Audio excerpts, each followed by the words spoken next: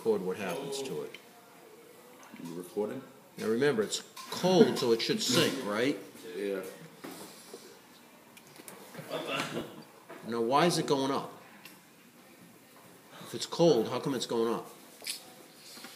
I don't know. Well, think about it. What's happening with that heating element? Where's all the hot? wa- Where's all the heat being concentrated? At the bottom. Right. So anything at the bottom, even though what started off cold, is getting heated up and it's getting pushed to the top.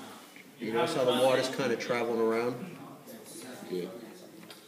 The stuff at the hot bottom is coming to the tops. Okay, that's what's happening. Cool.